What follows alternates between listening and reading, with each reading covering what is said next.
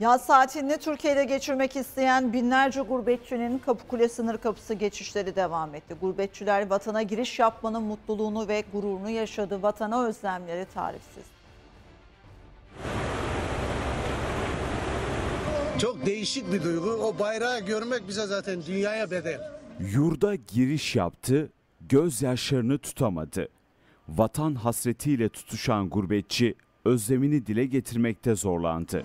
Bizim de kaderimiz gurbetçi olmak. Gönül ister miydi?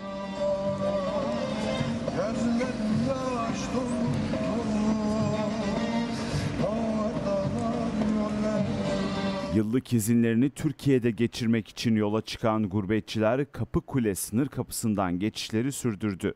Sınır kapısında gurbetçi yoğunluğu oluştu. İki senedir gelmiyordum. Çok mutluyum Türk vatanımıza geldiğimiz için. Çok özledik. Ee, ne bileyim hasret, özlem her şey var. şey. Girişte herkes gibi biz de Türk bayrağının dalgalanan resmini çektik. Yani gurur duyuyoruz memleketimizle.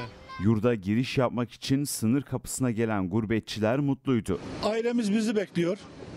Ee, İnşallah eee, iyi bir tatil yapıp geri döneceğiz. Vatana e, sevgisini herkes bilir de yurt dışında olan insanlar daha değişik bir gözden bakıyor.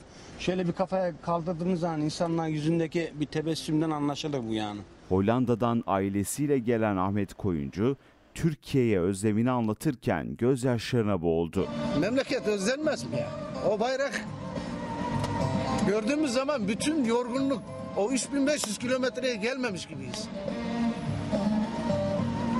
Yani yoluna ölürüz Türkiye'nin o kadar diyebilirim yani. Türkiye topraklarına ayak basan gurbetçiler, vatan toprağına kavuştukları için gururlandıklarını ve yorgunluklarını unuttuklarını söyledi. Tüylerimiz ürper oldu.